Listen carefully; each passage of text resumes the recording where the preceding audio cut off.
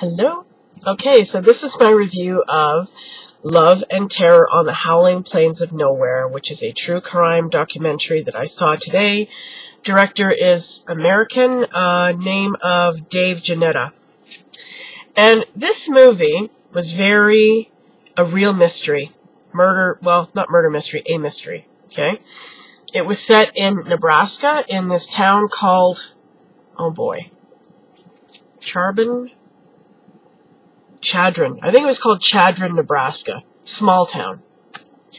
And um, it was about this brilliant mathematics professor who had just arrived. He had just started teaching at the state college there uh, for the past six months, and then one night he just disappeared, and nobody knew what happened to him.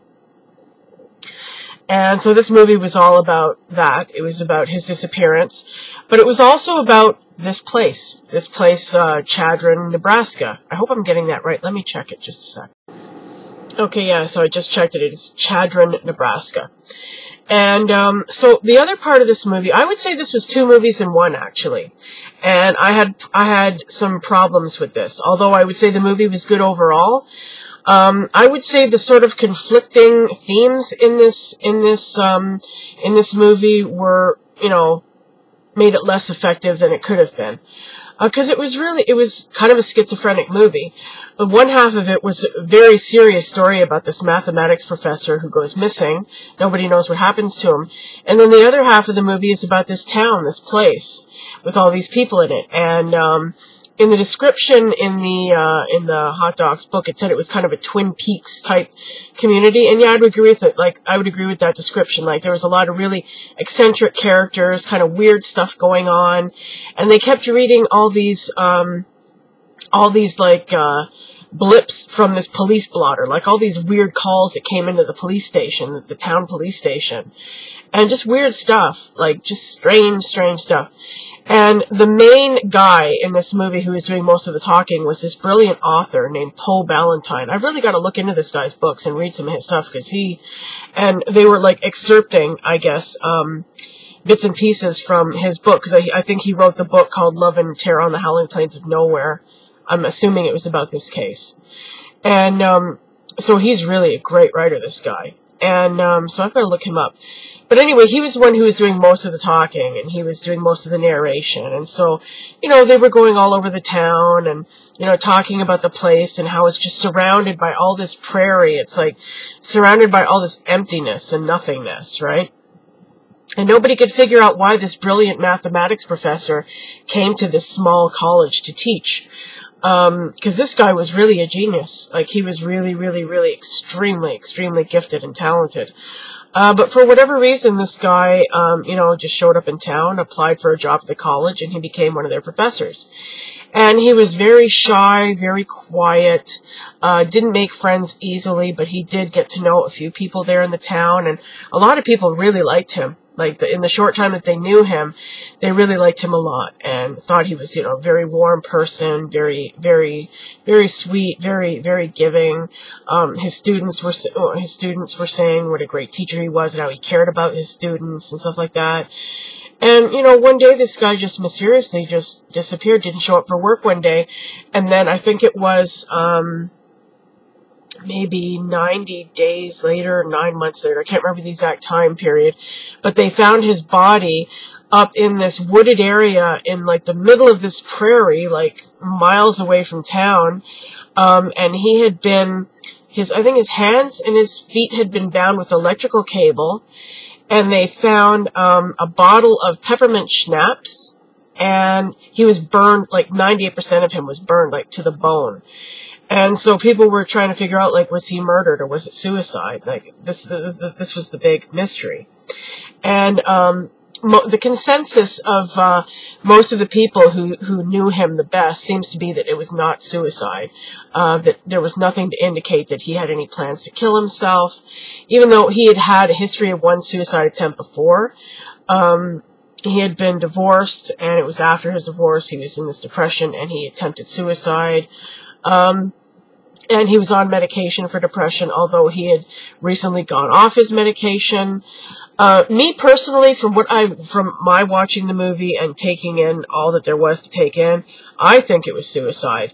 Um, because I really cannot see how anybody, like, why would some, why would somebody murder this guy? You know, it, it really doesn't make any sense. And the way it was done, like, this was in the middle of, like, it was, I think it was in December that, that this happened. So it was extremely cold, and this, this was at night. So this guy would have had to go, up this huge hill.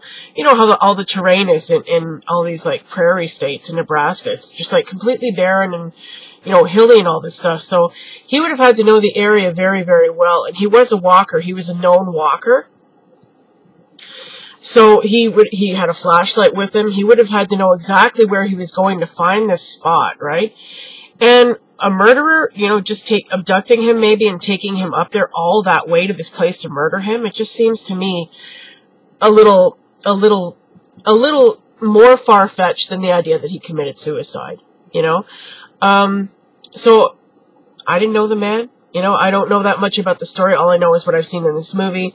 But for me, I see what, from what I concluded, I think this guy committed suicide. But you know, then they were saying that we'll never know. We'll probably never know what happened to this guy.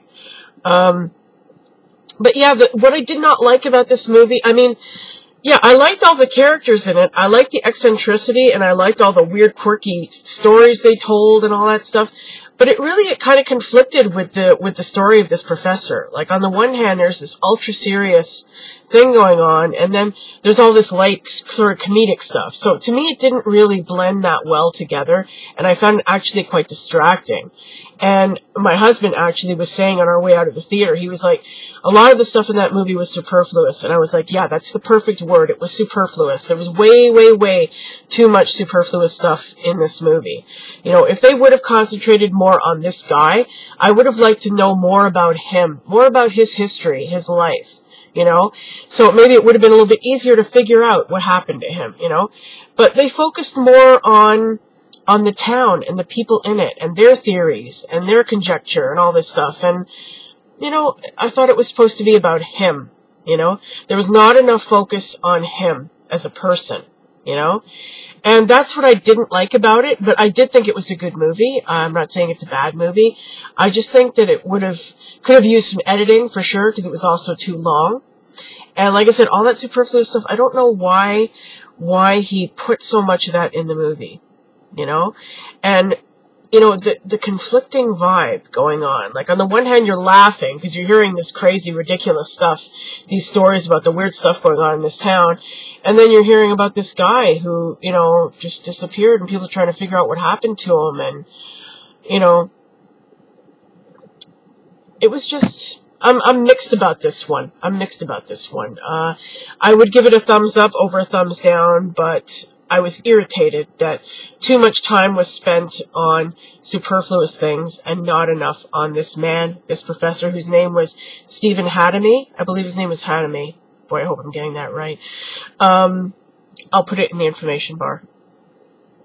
And, um, you know, yeah, I wish there would have been more about him. I wanted to know more about his life. You know, what was going on? You know, more of an investigation into him you know? But then again, he was this very, I guess he was this very private person, so maybe there wasn't that much, much for them to delve into. I don't know. But, um, it was a very, very interesting film, a real mystery. Like, you're, you're sitting there really trying to figure out what went on, what happened to this guy. So in that sense, I really, really enjoyed it because I love that. I love trying to figure out what's going on. And this was definitely, uh, one of those types of movies. So if you're into that, you would enjoy it, I'm sure. Um, so yeah, I couldn't stay for the Q&A for this one, unfortunately. The director was there. I got a little bit of intro stuff. Uh, couldn't stay for the Q&A though. But anyway, yeah, I would recommend it. Love and Terror on the Howling Plains of Nowhere. Okay, so I'm off for a couple of days, believe it or not. So I'm not seeing another movie until Friday. But, uh, of course, I will be back with my review when I finish seeing that film. So thanks for watching, you guys, and I'll see you then. Okay, bye.